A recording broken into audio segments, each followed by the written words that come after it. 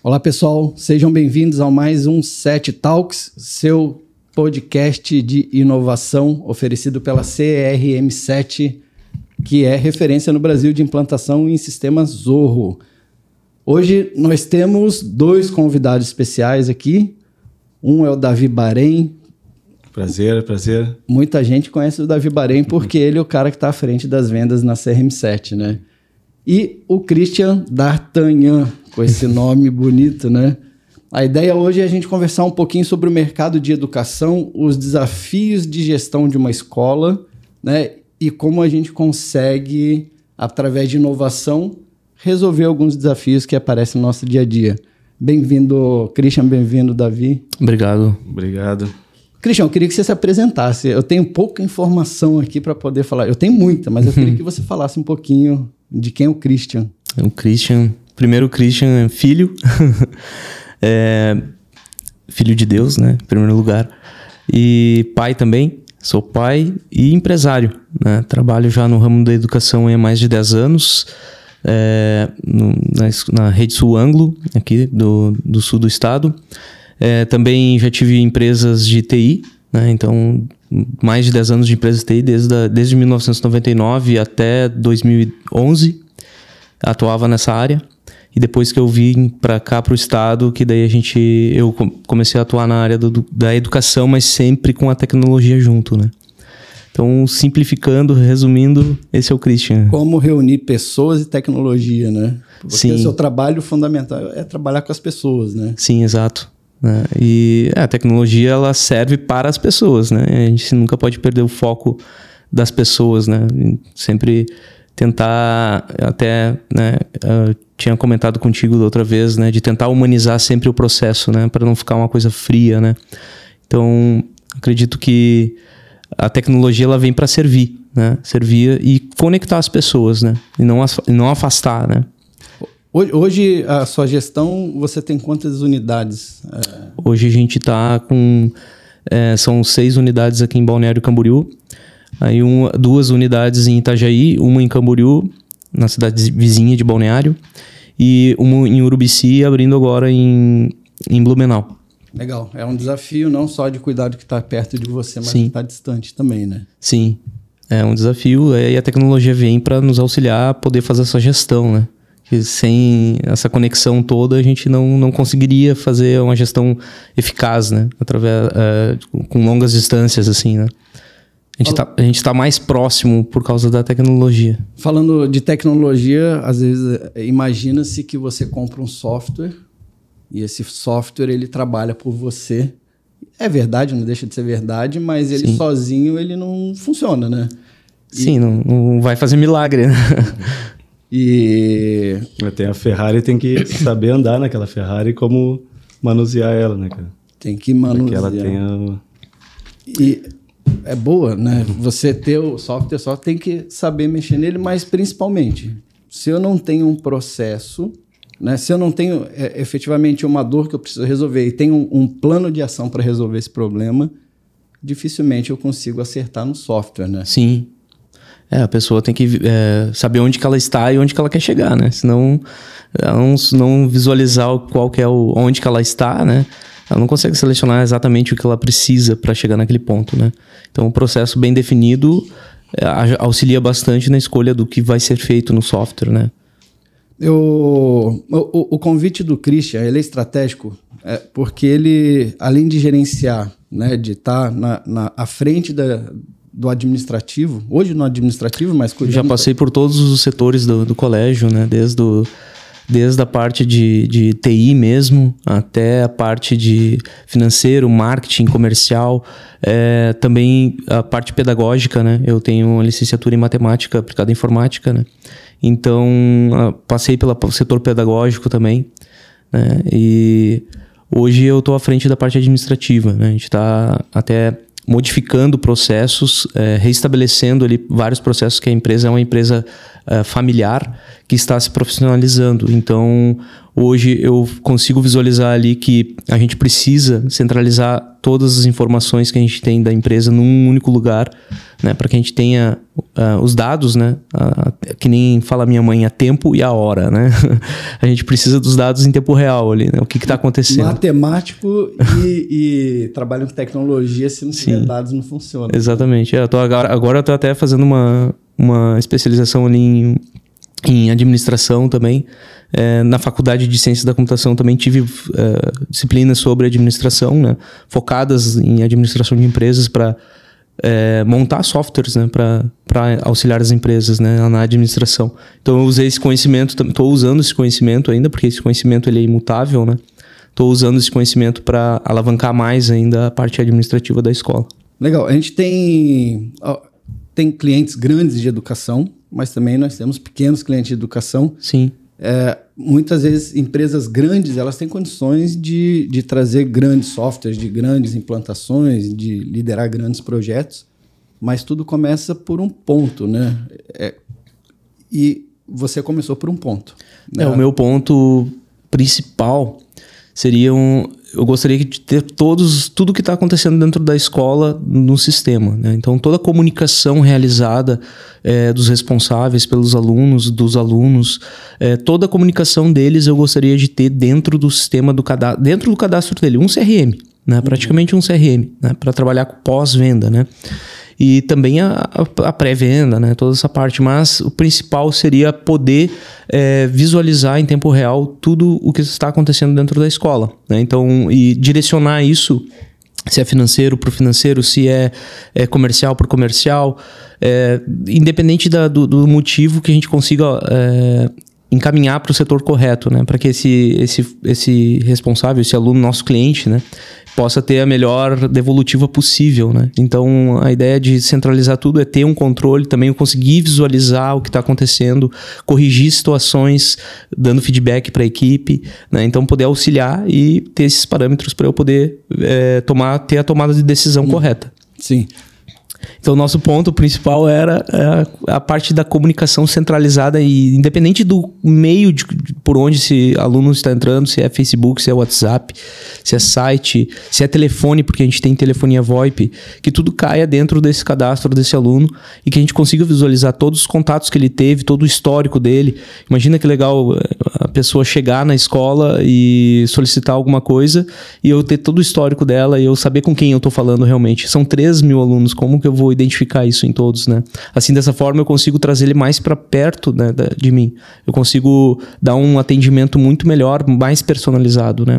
É, e ir direto na dor daquela pessoa, o que, que ela está passando, né? E, e aí corrigir e conseguir auxiliá-la, né? Quando a gente está falando de sucesso do cliente, né, o Customer Success, que é muito usado Sim. hoje para falar de cliente, o seu Customer Success é a vida de alguém, né? A vida de Sim, uma... exato. A gente trabalha com transformação de vidas, né? E e é o tempo todo. A escola até ela está bem focada nisso, é, nessa parte de transformação de vidas, né? não só ensinando português, matemática, né?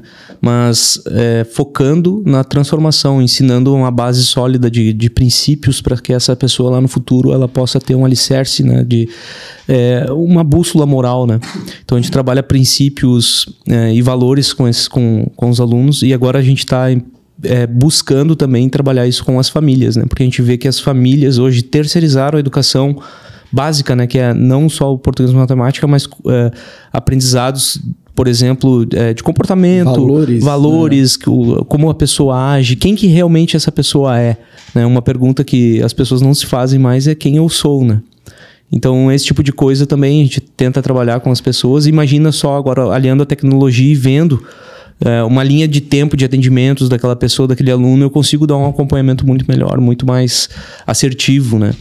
Você faz um diagnóstico na entrada do aluno? Você, alguma, o, o que, que você visualiza na entrada do aluno? Você tem uma, um plano de ação para cada vida que entra? Ali? Sim, não. Uh, vamos pegar no início, no comercial, né? Comercial, a primeira pergunta que eu faço, que eu peço para que os colaboradores lá do comercial façam, é o que que tu busca em uma escola para o teu filho? É a primeira pergunta. Porque eu preciso saber o que, que essa pessoa quer. Né? E se eu tenho condições de oferecer o que ela está buscando. Né? Então eu trato com essa pessoa no que ela está buscando. Então vai ser N razões. Né? E a partir das, eh, da resposta dela, a gente apresenta a escola conforme ela ela está necessitando. Geralmente a gente tem as ferramentas que ela busca, porque geralmente a pessoa quer é, é no Brasil os alunos são obrigados a estudarem, né? Então te, eles têm que estar dentro de uma escola. Mas a gente tenta sanar os problemas que as pessoas nos apresentam, né? Então a, essa primeira pergunta é fundamental para dar o start em, em tudo isso. Tá, então eu queria contar segredo aqui, podemos? Claro. A ideia, a ideia é assim, ó, já que você entrou no comercial, é, é, é, é, inviável que a gente mantenha uma equipe comercial o ano inteiro dentro de uma escola, imagino Sim. eu, que a campanha de matrícula aconteça o ano inteiro, né? Porque você tem um período ali que é o período de, de matrícula e Sim, é bem aulas, né? sazonal, né? né? Como, como, que funciona essa sua estratégia, a estratégia ou desenho, ou como que você trabalha esses períodos de, de matrícula? Você tem uma equipe, ou você traz uma equipe? Como que funciona esse desenho? É, uh, a ideia de uma escola é bem diferente das outras empresas que têm procura o ano todo, né? Então a escola ela tem procura o ano todo, mas não um volume grande, né? O volume grande ele geralmente ele fica a partir de outubro e vai até janeiro, final de janeiro, início de fevereiro, né? Então esse é o a maior período de procura por escolas é nesse período, né? Então a gente eu procuro sempre montar, refazer a equipe, né? É, colocar pessoas novas para suprir a demanda, geralmente antes de outubro, em setembro. Né? Então já dou um treinamento para essas pessoas e aí elas uh, recebem esse treinamento e depois a gente passa para período de matrículas, rematrículas em outubro e, e, e, inicia junto já de matrículas, né? Então, como é sazonal, a gente precisa é, sempre ter um trabalho bem refiado para poder aproveitar o período, né? Então, o foco geralmente é nesse período. Mas eu acho que eu fugi da tua pergunta. Não, é, é essa é a resposta. É, são milhares de alunos, né? E, Sim. E, e, é um trabalho que eu imagino que é um trabalho que demanda um treinamento, demanda uma capacidade de processos muito grande, né? Porque, é. se não der certo, são 3 mil alunos, oh, milhares de alunos Sim. que é, a ideia agora, é, a gente está num processo de reestruturação, é reestruturar o comercial. É, eu quero transformar essa pessoa do comercial em não mais um simples comercial, mas uma pessoa que acompanha a vida acadêmica daquele aluno que entrou. Então ele faz a, desde o primeiro contato e vai acompanhando a vida acadêmica desse aluno, né? dando os feedbacks para a família, sempre em contato com a família, né? E daí essa é, é, já é a pessoa que assume ali a parte de comunicação com as famílias. Isso é um processo que hoje não ocorre, mas é uma coisa que eu tenho em mente para estreitar também relacionamento entre escolas e famílias, né? A família, você diz, trazer os pais mais para perto da, da instituição, né? Da, Isso. Da escola. É, eu né? estou com alguns projetos para trazer uh, as famílias para dentro da escola, realmente. É, tem alguns projetos que vão ser executados esse ano. É, são uh, projetos voltados para a inteligência emocional da, da, dos pais, principalmente, né? Para que os pais possam uh, entender o processo também de né, de, uh, de, aprendizado do aluno, né? E por, e por, por situações que o aluno às vezes está passando que está prejudicando o processo pedagógico, né? O processo de aprendizado dele. Então, trabalhar a inteligência emocional com os pais é, é fundamental para que o aluno chegue num potencial que às vezes é muito superior àquilo que a família está esperando, né, receber. O sucesso do aluno, né? É o sucesso do aluno. O sucesso e o que, que te fez chegar assim a entender essa necessidade de tomar esse projeto? Foi algum sistema? Foi algum dado? Alguma informação? É, são dados, né? É o que a gente vê no dia a dia, né, acontecendo com as com os alunos, né, entre alunos e família, né? Então, a família é uma base, é um suporte, né, para esses alunos poderem é, alcançar esse nível que as famílias esperam um nível, mas a gente quer entregar mais, né? Mas a ideia é o que é levar é, conhecimento para eles de forma que eles possam usar no futuro, né? E já a partir de agora, né? Não só, como eu falei, de português e matemática, mas é, conhecimentos de inteligência emocional, como que funciona o nosso raciocínio, como que funciona a, as nossas ações, né? Porque o que determina o que eu faço é quem eu sou, né? E é por isso que eu falei aquela hora, que as pessoas não estão perguntando quem eu sou. E elas continuam fazendo a mesma coisa e não saem daquele, daquele loop, né? Elas não perguntam para si mesmas quem eu sou, e aí não, acaba não alterando quem, quem ela é, e ela acaba fazendo sempre as mesmas coisas. Então, às vezes, o aluno está com um, pro um, problema em casa e isso reflete na escola. E aí, eu mesmo estava é, com um problema com o meu filho, o meu filho do meio, eu sou, eu sou casado há 24 anos. Tenho três filhos. E o filho do meio eu estava praticamente é, destruindo ele. Né? Eu não estava construindo, eu estava destruindo. E eu estava focado no resultado. Né? Então eu queria extrair dele um resultado bom, mas as minhas. E aí, como eu estava sempre no, repetindo aquele looping, eu não estava focado em quem eu era, e eu não estava vendo quem ele era também. Então eu estava colocando todo o peso da instituição, da, Coloca no da escola, é, padrão e, é, e, e vai embora. É. E eu coloquei, eu estava colocando nele o peso, eu queria extrair o resultado dele positivo e estava colocando um peso desnecessário, que era um peso da instituição de ensino que é da minha família, né, em cima dele. Né? Imagina é, colocar, tipo, como se o resultado da escola dependesse das notas dele, né? Então eu estava destruindo quem ele era, né? E você estava usando ele como referência, você é, eu, filho sim, precisa ser é, imagina, né? Imagina, pá, cara, tu imagina tu tirar nota baixa e o escola, a escola é da tua família.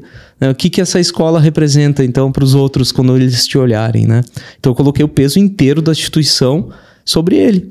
E na verdade eu estava tentando extrair um resultado, então estava visualizando quem ele era, né?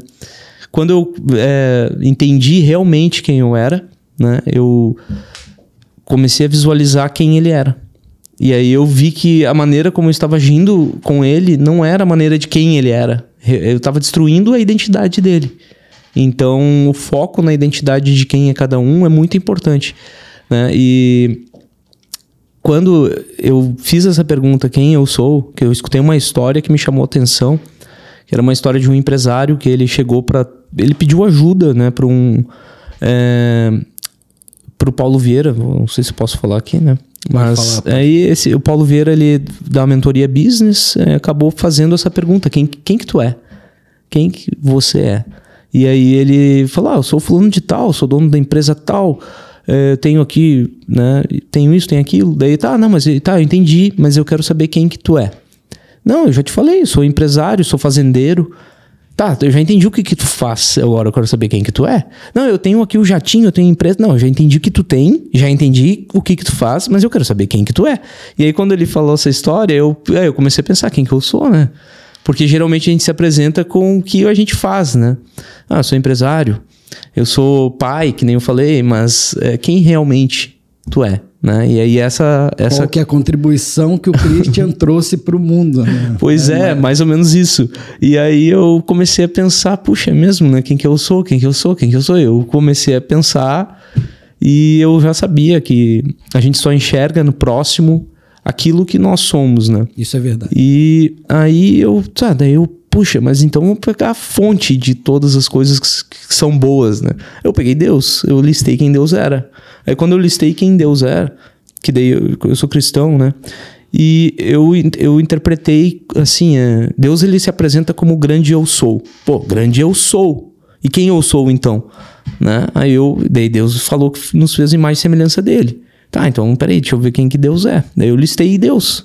Eu comecei a listar: Deus é forte, Deus é fiel, Deus é corajoso, Deus é, é justo, Deus é bondoso, Deus é gracioso. Cara, eu listei umas 50, umas 50 características de Deus. E aí eu, puxa, eu sou essas características porque eu consigo enxergar isso em Deus. Então, se eu consigo enxergar nele, eu também consigo enxergar no, no, próximo. E isso está em mim, porque se eu consigo visualizar é porque está em mim. Tem uma história, né, que diz que quando os índios viram as caravelas. Eles não viram as caravelas chegar até que realmente elas estivessem à beira da praia. Elas eram visíveis no, no horizonte, mas eles não enxergavam porque o cérebro deles nunca tinha visto aquilo. Então eles não conseguiam visualizar.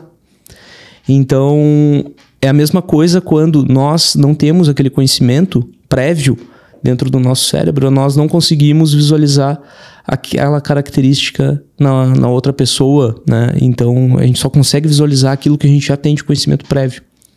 Então isso determina quem eu sou realmente. Essa visão de quem eu sou, o, o Christian, o, o Davi, a gente comentou sobre isso, é uma capacidade de entrega muito grande, né? O, a vontade que você tem de servir o próximo, ela transborda por você e voltando a essa vontade de entregar, na pandemia todo mundo sofreu muito, né? Sim. É, eu, muitas escolas elas fecharam as portas e muita gente fechou a porta, não só escolas, não só educação, mas você fez um trabalho no Brasil inteiro, sim, né? A gente. Em 2019 eu já estava acompanhando grupos de geopolítica, né? E até eu preparei a escola antes, né? Me antecipei.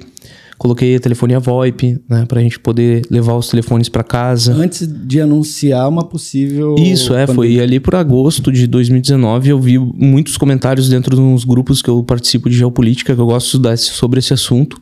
E aquilo me chamou muito a atenção, né? Daquele, dos comentários, como que estava sendo feito aquilo. E aí, sobre, não só sobre a pandemia, mas sobre a, é, o Fórum Econômico Mundial, né? E aí o pessoal estava comentando sobre um possível lockdown, já bem antes, né, de fechar. Eu, poxa, é, seria interessante colocar uma telefonia VoIP que vá que, né, tenha um lockdown, vai que as pessoas precisem ficar em casa, como é que a gente trabalharia? Daí eu já comecei a antecipar. Uma das coisas que faltava era essa parte da telefonia. Eu levei a, a os, montei um servidor dentro da escola né, de telefonia VoIP e a gente já trabalhava desde a gente trabalha com o Google for Education desde 2013 né? a gente começou antes da primeira escola a, a, a, primeira escola a montar que o Google achava que era a primeira escola porque a primeira for, for, foi nós né depois eles até reconheceram isso é, isso foi uma, uma ação tua, né? Sim, em 2013 a gente, eu implantei o Google for, o, o Google for Education foi inaugurado no segundo semestre de 2013 nos Estados Unidos, mas não, não tinha no Brasil. E eu acabei descobrindo e implantei dentro da escola. A gente começou a usar administrativamente e eu peguei depois uma. Como eu implantei no segundo semestre, eu dei um treinamento para uma das professoras. Era uma professora que tinha mais de 60 anos. Ah, devia ter uns 65 anos. Eu escolhi ela porque ela era mais de idade mais avançada. Então eu pensei, puxa, se eu treinar ela, ela conseguir usar, os professores mais novos que vão ter alguma resistência é, já não vão como ter exemplo, como, né, pra... é, não vão ter como resistir isso, né? Se eles perderem para ela, de quem é que eles vão ganhar? Porque a pessoa quanto é, uma, uma idade mais avançada, ela, geralmente ela não é tão tecnológica, né? Então eu acabei ensinando ela e ela começou a desenvolver trabalhos colaborativos com os alunos de, do quinto ano, né? na época, quinto ano. E, poxa, ela, os alunos faziam o trabalho no, na, no Google, tanto no Docs, é, então faziam no Docs, faziam no Google Slides, né? É, apresentações. E eles desenvolviam o trabalho e não tinha mais agora aquela história de eu fiz a capa, eu faço a capa, né? Porque a gente sabia que realmente cada um fez dentro daquele, daquele trabalho. O porque, registro, é, fica né? o registro. Então começou a ser desenvolvidos os trabalhos ali, eles apresentavam e no final eles enviavam ao professor pela plataforma do Google Sala de Aula, né? Que estava engatinhando naquela época, né? E aí na pandemia o que ocorreu foi que a gente já tinha todo o recurso, né? Porque como a gente já utilizava, os professores já tinham, vários já tinham certificações do Google, né? Google, é, agora eu até esqueci o nome da, da, certificação, mas eles já tinham feito essa certificação, né? Alguns professores ali, eles já auxiliavam os outros, né? E aí o que ocorreu foi que rapidamente a gente só teve que criar usuários de acesso para a educação infantil, porque Fundamental 1, Fundamental 2 e Ensino Médio já utilizavam, né? Então a gente criou as salas de aula rapidamente, né, de, de cada turma, e os alunos não pararam. A gente não parou nenhum dia na pandemia. A gente não parou nenhum dia. Foi direto da escola para casa e os professores já partiram pro pro online, não daquela forma como a maioria das escolas fez, né? Que eles criaram realmente um faziam um sacrifício com o aluno, né? Porque o aluno tinha que ficar em cima na frente da tela o tempo todo, né? Então a gente criou uma coisa bem diferente. A gente criou as aulas divididas ali é, em períodos de 10 minutos a 15 para passar o conteúdo. Depois tinha uma discussão online daquele conteúdo. Os professores iam até a escola para. Alguns iam na época, alguns iam para usar o quadro, outros não, outros faziam da própria casa, né? E aqueles que tinham mais uh, afinidade com a tecnologia, eles mesmos gravavam, né? E aí na escola a gente recebia aqueles que não conseguiam é, gravar suas próprias aulas e tudo mais, não conseguiam se é, conectar com os alunos, e esses a gente auxiliou em casa. Mas a maioria ali dava aula direto de, Nessa casa. Na né? mesma época, a Zorro fez. Ela convidou todos os clientes. Sim. E disse o seguinte: quem quiser pagar, quem não quiser não precisa. Poxa, ela criou foi... um, um, um processo e liberou né, um, um, grupo de aplicativos para que pudesse apoiar a- Congelou algumas mensalidades. congelou ali, algumas durante um mensalidades, isso, e liberou vários aplicativos para educação, para pequenas empresas. Foi incrível. É, uma, isso aí é um ganha-ganha gigante, né? É, Ganha-ganha é um dos princípios que a gente ensina na escola, né? A regra de ouro, né? De vários livros, né? Inclusive da Bíblia, né? Que é sempre pensar no próximo, como que o- como que o próximo pode ganhar junto comigo, né? Então é, uma, é um princípio, porque com certeza eles ganharam muito com isso. Porém, as pessoas que também utilizaram o serviço deles, com certeza também ganharam bastante, né? E assim como eu agora, a gente tá migrando para Zorro aos poucos aí. Eu acredito que agora no final do ano a gente vá com tudo, né? E E aí realizar o sonho acho- de estar tudo integrado, né? sim, Fato, exato, imagina integrado. tudo integrado, conseguindo visualizar realmente o que está acontecendo com cada um ali dentro. É, não tem preço, eu acho isso, né? O, o empresário que inova, ele compartilha, né? Eu, Sim. Eu trouxe essa história para mostrar o investimento que você fez. Sim, é, na pandemia mesmo. Você visualizou a antecipação do mercado e depois você consolidou um Sim, treinamento. É, tu até me perguntou pro isso. mercado, é, né? Na pandemia, daí o que ocorreu foi que daí a gente não parou e eu percebi que os nossos concorrentes não estavam fazendo nada. E aí eu, puxa, será que falta conhecimento? O que, que será que falta, né? Que as pessoas não. Eu comecei a pensar, esses alunos que estão em casa, que não estão. Não estão conseguindo é, ter esse. é, não estão tendo aula, né? Estão parados, estão, estagnaram agora, vão ficar o quê? Três, quatro meses parados. Eu rapidamente eu percebi isso eu fui para fóruns de educação, né? Comecei a ver as pessoas estão com muita dificuldade de criar o seu ambiente educacional, né? Então, digital. E aí isso era extremamente simples para nós. Aí eu peguei rapidamente eu criei ali uma eu criei um, um anúncio, né? E publiquei um publiquei uma aula para essas pessoas, né? Uma- faz- fiz um curso praticamente, uma certificação ali para poder utilizar as ferramentas eh, de sala de aula online, né? Incrível. E aí foram ali diversos, foram muitos professores que se inscreveram de todo, até do Amapá tinha gente fazendo. Né? E aí, rapidamente, eu já indiquei outros canais que eu já tinha visto também. Tem uma menina de Porto Alegre, que eu sou de Porto Alegre, mas né, não, não conheço ela presencial, mas eu sempre trocava ideias com ela. Ela é pedagoga, né? E ela é uma Google Innovator, né? E ela tem as certificações Google. A gente con- conversou bastante sobre a parte online ali. Eu indiquei várias pessoas também para complementar. Os vídeos dela complementavam o conteúdo que eu estava passando, né? Ela traz muitas formas de usar, por exemplo, o Minecraft para ensinar matemática. É, umas coisas diferentes assim. Prende, prende. o- Sim, o é, é. então daí eu acabei passando isso para esses professores aí, mas a minha parte mesmo foi mais a parte de como montar uma estrutura online para eu dar ministrar as minhas aulas, como que ferramentas que eu tenho, como que eu posso usar isso, até até dicas de como gravar vídeos, né? Para que que imagina, tem gente que gravava de pé, não, não tem como, né? Não tem que ser no formato paisagem, né? Daí eu pass- passei essas dicas básicas assim de gravação também. Não foi só a parte eh, de- do ambiente virtual, mas também para que eles pudessem como fazer um upload para um vídeo do YouTube, que daí o YouTube fica muito mais fácil de tu eh, dos alunos visualizarem, né? Então esse tipo de coisa, passei várias informações para eles, não só da, do ambiente acadêmico ali, né? Mas também coisas assim que simplificavam, né? Qu- Quando você enxerga enxerga essa transição, né?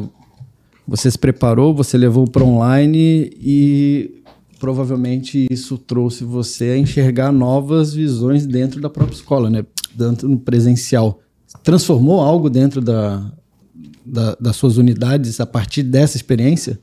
O que, que ficou desse momento para dentro da- das escolas? A parte tecnológica, né? A parte tecnológica foi assim. é, aquele que não era tecnológico virou. Né? Virou tecnológico. É, Obrigatoriamente. Obrigatoriamente as pessoas elas viraram tecnológicas. Né? Meu pai, por exemplo, tem vai fazer 80 anos esse ano. Ele ele tá extremamente tecnológico agora. É, Chega engraçado, é, chega a ser engraçado de ver, né? Ele sempre me incentivou muito sobre a parte tecnológica. Ele é minha mãe, né? E ele virou agora é, faz tudo pelo celular, né? Eu acho que não tem uma pessoa que não faça tudo pelo celular hoje, né? E a pandemia ela deu essa acelerada, né? Acelerou isso, esse processo tecnológico dentro da, de todas as empresas, né? Se obrigaram né, a ir pro meio digital, né? Não teve uma que não, não foi. É, todo mundo tem agora um pezinho no, no meio digital, né? Os seus alunos já têm, já estudam, já são nativos, tem, né? Já são nativos, né? São, são nativos digitais, né? A gente, nós ainda somos meio a meio, né? É, quando eu nasci, acho que era ainda no tempo do Atari. Do Atari. né? E os computadores eram ainda prompts, né? 386 é. era o prompt. É, era prompt. Não, o primeiro curso que eu fiz foi data, con data, data, Control. Era, para entrar no Windows, tinha que botar barra Win ali e executar, né? C2 pontos barra é, Win. Isso, é, aí chamava a pasta do Windows e ele executava, né? Era assim. primeiro disquete, curso. tinha uns disquetes gigantescos. Tô falando minha né? idade já, só com isso. Né? O Davi é mais novo, o Davi tá com. É, eu não peguei muito essa fase, mas é. peguei o. O seu disquete já era menorzinho, disquete, né? Peguei o Windows 98. Era, o primeiro era aquela bolacha, né? Aquele disquetão, né? O... Disquetão. Cabia nada. É. o disquete menorzinho, que ele cabia 1.44 megabytes. É. Né? Megabyte. É. Né? Ah, não sei quantas bíblias dava lá dentro. Eu me lembro do meu professor. Nossa, aqui, ó, o tamanho da bíblia. Cabe não sei quantas aqui dentro uma infinidade, eu não me lembro quanto que era, mas eram muitas bíblias que cabiam dentro de um disquete, né, daquele lá. Hoje, hoje é absurdo. Hoje, na verdade, não precisa nem mais de disquete nem de pendrive, né? Tá, é, tudo, na, é, tudo, tudo na, na nuvem. Tudo é, na nuvem. Tudo na nuvem. É, gente, ali na escola, depois que a gente passou pro Google, a gente usou muito a parte de nuvem, né? Inclusive o sistema também já foi, nosso RP, ele é na nuvem desde 2000, desde que a gente foi para ele, já era na nuvem em 2012, né? Então, a gente já não usa mais há muito tempo servidores próprios ali, né? É tudo na nuvem já há muito o, tempo. Hoje, você, se não existisse tecnologia dentro da, da sua instituição, por onde que você começaria, assim? Eu preciso começar por algum ponto. Começar pequeno. Sem tecnologia. Tem zero. Na é verdade, é os seus coisa... alunos estão todos no Excel. Estão ali na planilhinha, talvez a cobrança, você vai no banco Sim. todo dia, e, ou todo, todo período de faturamento, você vai no banco e lança um boletim ali no, no banco? Qual, Seria. Qual? Eu teria que ter muito mais pessoas. Muito mais pessoas trabalhando. É a mesma coisa que um banco sem computador hoje. Eu acho que a gente teria que ter um volume de pessoas. Acho que no mínimo umas quatro vezes a mais do que, do que nós temos hoje. para poder dar esse.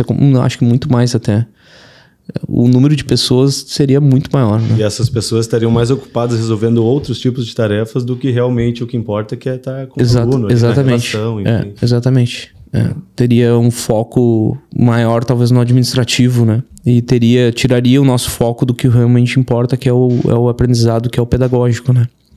Isso aí seria um seria hoje hoje eu não consigo visualizar não. isso, né?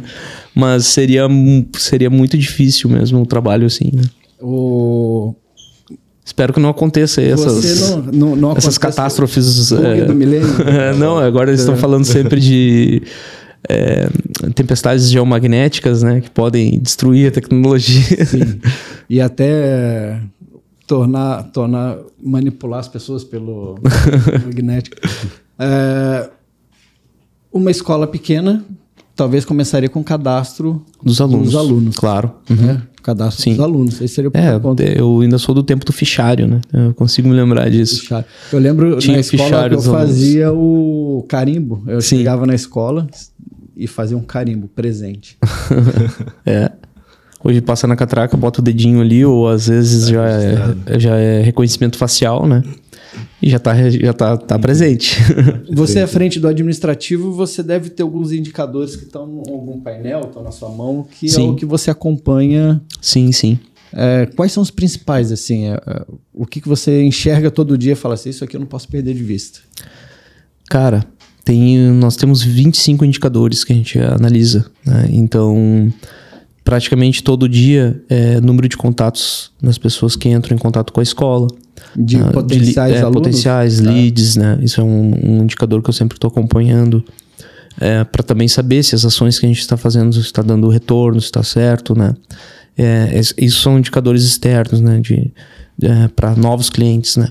Mas aí tem a parte de faturamento, né? Eu sempre comparo o faturamento é, para saber como que está a lucratividade, né? Faturamento é, relacionado com a folha, né? Eu faço essa verificação, a folha nunca pode ultrapassar 40% do faturamento. É, faturamento, é, a lucratividade tem que estar tá para ser saudável é em torno de 30%. Então, folha, custos, etc. menos o, o faturamento, não tem que sobrar 30%. Senão, E inadimplência? Existe essa. Inadimplência, relatório claro, de existe. inadimplência? A gente acompanha. Né? A inadimplência deu uma subida depois da pandemia. Né? A Balneário Camboriú ela sempre teve uma inadimplência um pouco mais alta que, os outros, que as outras cidades. Acredito eu, porque cidade é um- uma cidade turística, né? Muitas pessoas elas vêm com essa visão de, é, poxa, vou abrir meu negócio aqui na cidade, vou tentar prosperar, e às vezes acaba não dando certo, né? E a pessoa acaba é, passando por percalços ali que ela acaba desistindo e vai embora. E aí... Então aqui a, cidade sempre teve um pouquinho de inadimplência maior que, mas isso tudo é dá para prever e dá para conseguir conciliar e, e, e sempre tenta, a gente sempre também tenta conciliar com as famílias da melhor forma possível, né? A, a gente está falando de uma escola particular, né? Sim. É, é, você tem um perfil de pai ou um perfil de aluno, um perfil de pai talvez, né? Que é o que você busque ou é qual é o seu alvo? Sim, a gente tem os perfis, né, da- dos pais, né. É, geralmente eu uso já o meu próprio cadastro para alimentar as redes ali para saber qual que é o perfil, né. Então, através dos, dos alunos que eu já tenho, eu consigo fazer essa, por exemplo, eu pego ali as ferramentas de, é, de mídia digital, né, e eu consigo fazer uma análise ali do meu perfil e consigo é, pessoas que têm o mesmo perfil, né? Pais de alunos e tal, que estão no período escolar, que tem um certo perfil é, econômico, né? Então isso a gente consegue, a gente, a gente faz. Isso economiza para você investimento em marketing, Sim. né? Investimento Sim, em eu vou direto no alvo, né? Vai direto no alvo, né? Aham. Então, tra- traçar o perfil é algo muito importante, né? Sim, muito a gente tem que definir bem quem é o nosso perfil, né? Quem é o perfil de aluno que a gente quer, que a gente está buscando, né? Isso é uma, acho que para qualquer negócio, né? A gente tem que saber quem que é que eu tenho que é, buscar, né? Senão o comercial acaba se tornando ineficaz, né? Às vezes a pessoa é muito boa no comercial e a palavra eficaz, ela é diferente da eficiência, né? As pessoas às vezes confundem. A pessoa pode ser muito eficiente, mas não adianta eu ser nada eficiente se eu não for eficaz, né? Se eu tiver com a estratégia errada, a eficácia ela, tá, ela, ela é mais alinhada com a bússola, a eficiência é mais com o tempo, com o relógio, né? Então, se eu sou eficaz, a minha bússola está apontada para o lado, para o alvo certo, para o objetivo certo. E se eu for eficiente, eu vou, eu vou seguir naquele, naquela direção daquele objetivo mais rapidamente, mais assertivamente, né? Então, as duas coisas têm que estar alinhadas, né? Então, saber quem é realmente o meu cliente é trabalhar de forma eficaz. É o ICP, né? Matriz de cliente ideal. Você falou um bloco, são 25 indicadores, um bloco do comercial, Sim. um bloco do financeiro, Eu tenho pedagógico, comercial, financeiro, pedagógico, marketing. Né? marketing. É, eu tenho, eu tenho esses, esses indicadores ali que eu analiso Então, praticamente. cinco depois, é comercial, marketing, financeiro, Pedagógico. pedagógico É. e ah, falou cara. quinto? Não, eram os quatro, né? É quatro, né? Eu posso abrir aqui, eu tenho, eu tenho aqui, mas, mas é, é, é isso aí. Que é o que fica na sua frente. ali. Sim, são 25 indicadores E no total ali se que a o gente analisa. indicador, ele, você tem uma, uma, um corte, se ele, como investimento, né? Se ele passar daqui, Sim, já me dá um alerta, né? já te dá um alerta. Sim, já me dá um alerta. A inadimplência acima de 5%, uh, já dá. um- já tá sirene vermelha. né? E aí o plano de ação para resolver. Aí já monta-se, daí a gente analisa o que está correndo, ocorrendo e monta o plano de ação, né? É em cima daquela, daquela né? indicação. É muito importante a gente conseguir medir de forma separada esses indicadores. né? Sim, sim. Porque senão a gestão ela fica uma gestão confusa, uma gestão completa, sim, né? Sim, Se é, um tem que problema- ser. Por exemplo, na escola isso é tudo por empresas, né? Então, como a gente tem várias unidades, é por empresa. Eu tenho o todo também, mas a tomada de decisão, às vezes, ela tem que ser para aquela localidade, não? Então, eu analiso por empresas, é, cada uma tem os seus 25 indicadores lá. E até pela característica regional de cada mercado, né? Por exemplo, aqui balneário, a inadimplência é algo que se preocupa. É, né? é um pouquinho maior, né? Aí tem que ter umas tomadas de decisões ali com relação à parte do financeiro um pouco diferente das outras unidades, né? No pedagógico, o, o professor participa desses indicadores seus? Participam. Participa? Eles fazem. é, a gente tem alguns relatórios que a gente recebe, né, dos professores, e tem também uma parte de simulados que a gente realiza com os alunos para saber como que está o andamento. né. Então, como material didático é um sistema de ensino, né, que já tem mais de 70 anos, é, é um dos melhores do país, realmente. É, é o que aprova o aluno dentro de uma USP, né, dentro de uma Unicamp. Então, são as universidades mais difíceis do país, né? Então, hum, diversos alunos em medicina, né? Que é, o- é a faculdade mais difícil, né? Na- tanto na Unicamp quanto na USP. Esse sistema foi fundado para colocar o aluno na USP, que nem era USP na época, era Escola Politécnica, alguma coisa assim. Politécnica de Imagina, São Paulo. é, né? es- Escola é, Politécnica. é, é, escola politécnica. Imagina, o, o ângulo tem desde essa desde 1950, né? É, na verdade, já tem até um pouco antes ali, mas eles começam a contar desde 50, né? Então, são professores que fundaram essa metodologia. Depois veio um professor que é muito interessante, porque ele fez um estudo de neurociência e eles estavam indo mais ou menos pelo como já como estava funcionando ali, né? Por exemplo, o curso já vinha funcionando, eles já davam as aulas porque eles, eles que montaram o material, né?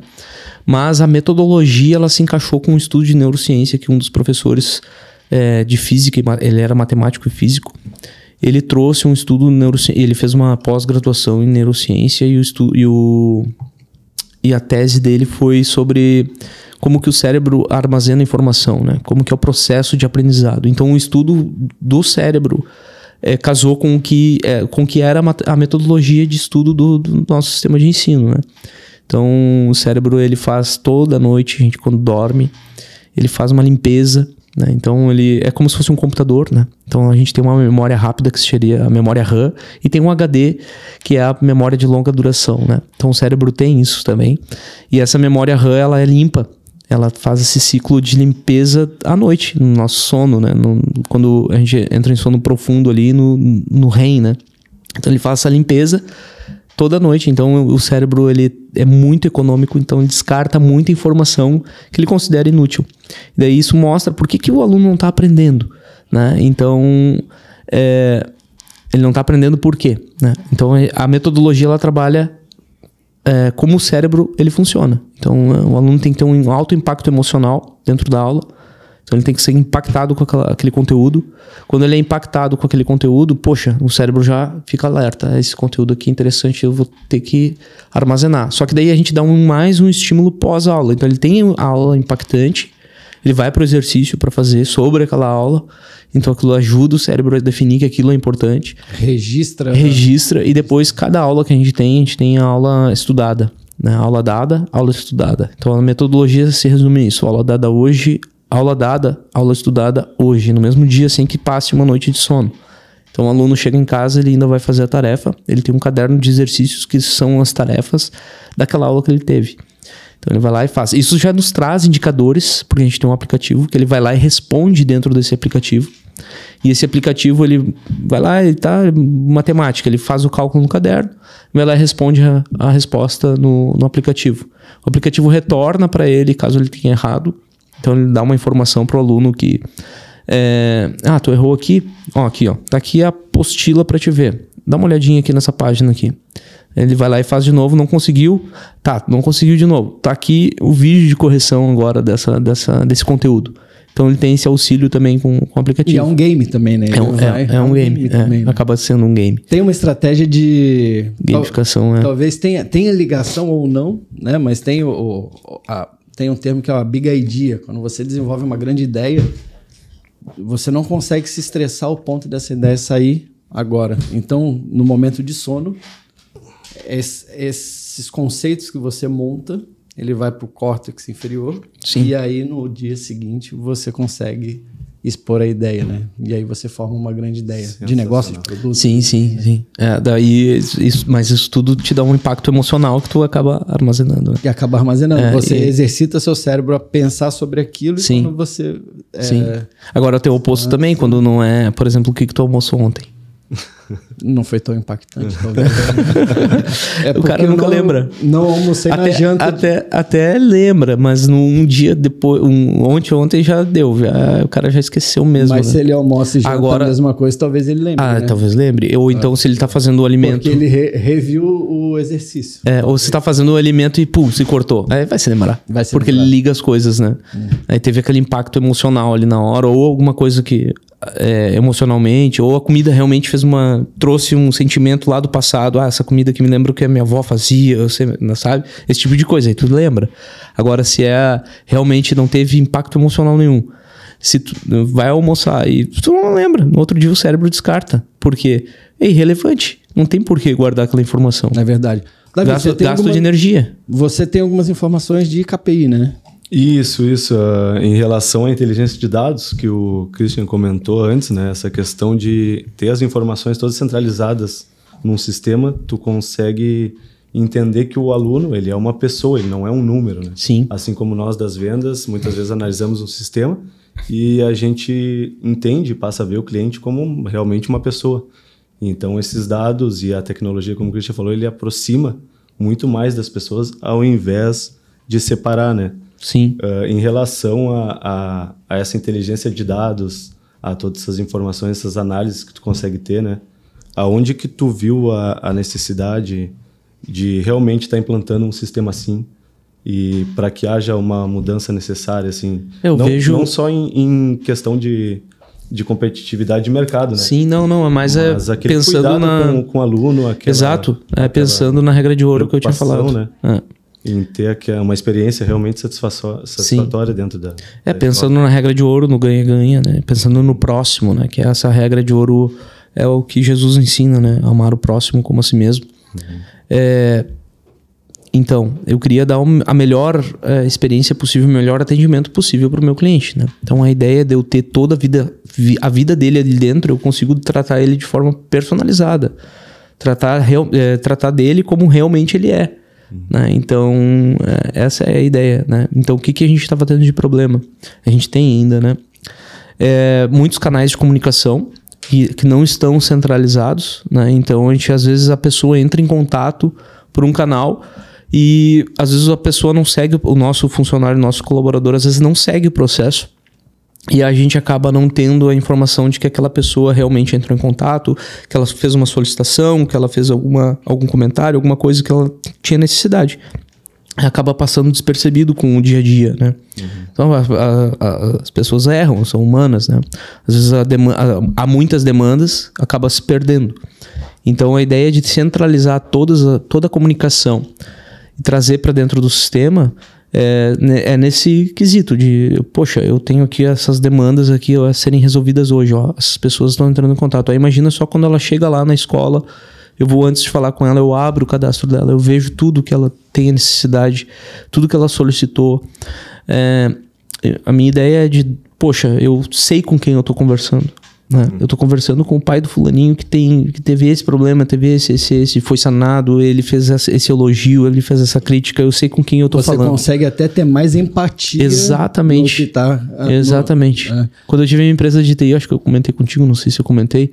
Eu tive uma ideia uma vez, acho que lá nos meados dos anos 2000, de criar um software na época para pizzaria, né? Era ainda do tempo do fax modem, né? Do fax. mo- Imagina, a pessoa ligava, é, minha ideia era essa. Ligou, o cara atendeu, já sabia até a pizza que o cara mais pede. Então, é mais ou menos isso. Eu já sei qual que é o, o que, que essa, eu já sei que, que essa pessoa tá vindo aqui. E isso pode impactar também até no, no aprendizado do aluno, que tu Claro. consegue melhorar. Sim, sim. né? Em, to- em todas, eh, eu- se eu consigo eh, traçar o perfil dele, né, eu consigo melhorar, né? Então, dentro do sistema ali a gente tem, como eu estava falando da parte da tarefa, eh, ele fazendo as tarefas eu já consigo praticamente definir aonde estão os pontos que ele é bom, aonde que estão os pontos que ele está com problema. Então a gente consegue visualizar só na tarefa, não precisa nem fazer prova. Tem uma precisão mais cirúrgica Tem, na tem. hora de E o simulado e o simulado também daí me traz. O simulado é muito legal porque os alunos eles fazem o simulado não a nível local, eles fazem a nível do sistema de ensino. São mais de mil escolas ângulo no país. Então a gente consegue avaliar o aluno perante a escola, perante a turma, perante a escola, perante outras escolas. Então, a gente consegue realmente saber onde que aquele aluno está e onde que ele precisa chegar. Por exemplo, o cara quer fazer medicina, é, o resultado dele tem que ser altíssimo, né? Então a gente consegue visualizar. Até porque vocês acompanham o aluno desde o do início, do, dos primeiros anos iniciais até a Sim, faculdade. sim, exato. Não, os alunos que estudam ali desde o início do ano, eles passam na universidade que eles que eles escolherem. Né? Não, não tem. O, aluno está ali sendo acompanhado pedagogicamente desde, a- desde os anos iniciais. Já sai falando inglês também. É uma Então já sai, bilíngue. já, já sai preparado para para a vida. E os indicadores fazem toda a diferença para a gente ter esse acompanhamento com os alunos, né? E como que era esse acompanhamento antes de ter sistema, de ter tecnologia? Aí às vezes era, é. era brabo, porque é. o aluno vai. É, é, lá na hora da prova, né? Uhum. Puxa, o cara passa aí tira aquela nota vermelha e ah, agora vamos corrigir esse aluno aqui. Uhum. É complicado, né? O aluno chega na hora da prova, não sabe, e aí o trabalho da escola era saber se ele sabia ou não, né? Se realmente foi. A prova geralmente ela é para isso, né? Para saber se o aluno adquiriu o conhecimento. Sim. Mas muito melhor tu saber antes dele fazer a prova, né? Sim, sim. Então, hoje, se não tivesse tecnologia, seria na hora da prova, realmente, do teste, né? Ou não correção das tarefas com o professor ali, mas aí fica mais complicado de ter aquela assertividade, né? Essa questão analítica de dados uh, pode impactar também na metodologia daqui para frente, tu acha? Nas instituições de ensino? Com certeza, né? Quanto mais dados a gente tem, melhor a gente consegue tomar, ter uma tomada de decisão melhor, né? Então, os dados eles fazem, eles, hoje já fazem parte do mundo, né? Não tem como a gente não analisar os dados, né?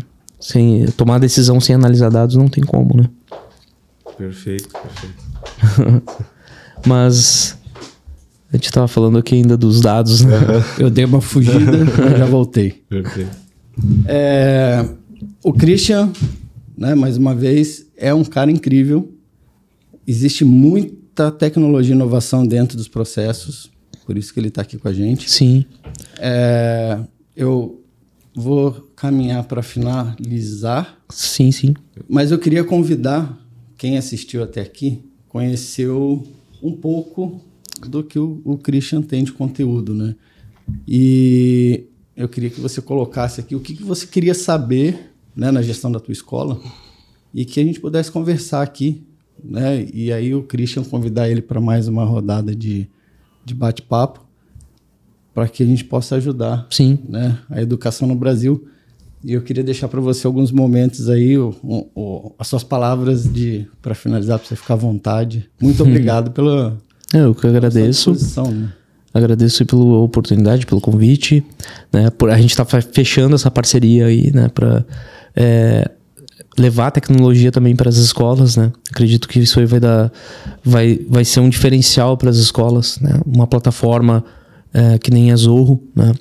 Com toda a bagagem que eles têm, né? Essa parte de tanto do work, mas também dessa parte de ser totalmente personalizado, né? Isso faz é um grande diferencial porque daí as escolas elas são é como se fosse um ser vivo, né? Cada um tem as suas peculiaridades, né? Isso pode ser adaptado, né, para cada para cada escola, que é o que a gente está fazendo ali. Mas tem também a parte que já está pronta, né? Vocês me apresentaram ali a parte financeira que já está pronta, né? essa parte do CRM que é fantástica, né? Que já está pronta. Integrado, né? Integrado, né? Essa parte das mídias sociais que tu consegue trazer é um omnichannel, né? Isso é um sonho, né? Tu ter todos os teus todas as tuas redes sociais, todos os teus contatos caindo tudo no mesmo lugar e tu poder abrir e ter a visualização de, poxa, quantos leads aqui. Esse cara entrou por qual canal? Ele entrou pelo WhatsApp, ele já entrou pelo Instagram, ele entrou pelo Facebook. É, poxa, ele fez um comentário aqui no YouTube, né? Então a gente consegue visualizar para onde que tá vindo os contatos e, e ainda centralizar isso na numa pessoa só, né? Tu consegue saber mais assertivamente, é o que a gente estava falando ali de tomada de decisão, né, sobre dados, né? Até como reter os alunos ou também evitar percas. Né? Sim, sim, imagina. E é um spoiler, né? é um spoiler. Sim. É, esse, esse projeto a gente está mapeando a inteligência do Christian e de toda a operação sim. que ele tem na mão e está transformando isso num software baseado em Zorro. Sim. Né? Então, é, em pouco tempo aí a gente vai ter novidades Sim. juntos. No... É, e é como a gente pensa, né? Trabalhar um ganha-ganha. A ideia é, é, mercado tem disponível para todos, né? Crescimento tem para todos. Né? Então a ideia é com que as escolas melhorem no país, né? A gente quer um país melhor, né? A gente quer uma transformar a educação desse país. Eu acredito que isso aí nessa geração ainda é possível fazer isso. Né? Então a ideia é, por isso que eu estava falando de princípios ali, né? Então, o que eu deixo aí para quem for assistir, se for alguém de escola, é trabalhar os princípios, é trabalhar o caráter do aluno, trabalhar com, junto com as famílias para que elas entendam que é necessário que o aluno ele esteja num, num ambiente escolar onde seja possível trabalhar isso, né? Que as escolas entendam isso, né? Sobre inteligência emocional. As pessoas elas são contratadas pelo QI, demitidas pelo QI, não é?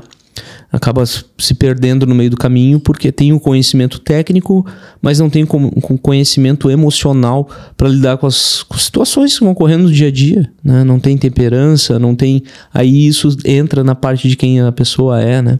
Porque temperança é uma virtude, isso faz parte da pessoa ou não faz, e ela às vezes nem sabe, né? E essas virtudes, né? Eu aconselho então, é, filosofando, eu fiquei pensando esses tempos, né? É, que tudo se resume na vida a uma escolha com duas opções o tempo inteiro. Tudo, tudo, tudo. Uma escolha o tempo inteiro com duas opções. O resto é ilusão, as pessoas não percebem. Mas é uma ilusão. E é o quê? É, a escolha é simples é, ou eu estou construindo ou eu estou destruindo. A minha escolha está me fazendo construir ou eu estou destruindo, que nem eu estava falando do meu filho. As escolhas que eu, eu, apesar de ser um objetivo ser bom, né, que eu estava querendo para ele, o resultado, as minhas escolhas, a forma como eu estava agindo, elas estavam fazendo, extraindo o pior dele. E por quê? Né? Porque eu estava desconstruindo, eu não estava construindo. Então as escolhas que eu estava tomando, elas estavam levando para um caminho de destruição. Né? Ou as minhas ações elas constroem ou elas destroem, ou elas constroem relacionamento ou elas destroem relacionamentos. Né? Então é o que eu deixo para as pessoas é para ensinar para os alunos, para e para quem quer que seja, né? Porque isso a gente pode trabalhar onde quer que a gente esteja, né? É uma é sempre tentar construir, né? É tentar ligar, é tentar construir, é tentar agir pelo lado do bem, né?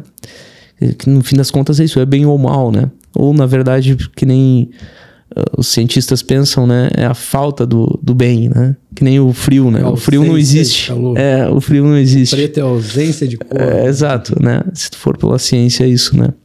Então, é isso, é a falta do bem. Então, a ideia é sempre construir e não destruir, né? A própria palavra de Deus, ele diz que é, de uma fonte não pode sair água doce ou água amarga. É isso. Eu estava sendo água amarga de mim com relação ao meu filho. E aí agora imagina uma escola focada no ser da pessoa, no ser daquele aluno, quem ele realmente é. E evidenciando quem ele é. E trabalhando em cima dessa evidência de quem ele é.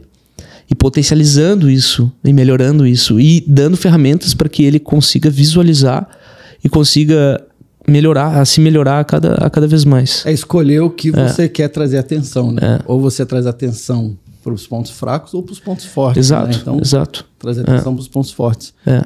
Davi, deixar suas palavras finais aí do nosso Quero agradecer a oportunidade de estar aqui nessa mesa com essas duas feras aqui, né, cara? é uma oportunidade incrível. Fazer a observação agora que a CRM7 está de cara nova, para quem acompanha aí os Set Talks mais antigos, né, Cleber? é, hoje, webinars. É, hoje foi a primeira vez que a gente usou a logo nova. Na verdade, como esse podcast vai sair só na semana que vem, ou na outra, então a gente antecipou já com, esse, com essa logo e acho que uh, provavelmente você vai assistir o podcast já vai estar tá tudo com a logo nova, né? Legal. Hoje foi, foi a estreia. Show, show. Pessoal, muito obrigado. É, acho que a nossa audiência vai ficar feliz de, de, de consumir o seu conteúdo. E mais uma vez, quando puder, quando assim, quiser compartilhar mais conhecimento, Perfeito. conta com a nossa mesa aqui. É isso aí. Sempre muito bem-vindo. Estamos, estamos juntos. Crescer e contribuir junto. Crescer Essa é a, regra, é a regra de ouro, né? É, sempre pensando no próximo aí. Que Pessoal, puder. Muito obrigado. Valeu. Um abraço. É.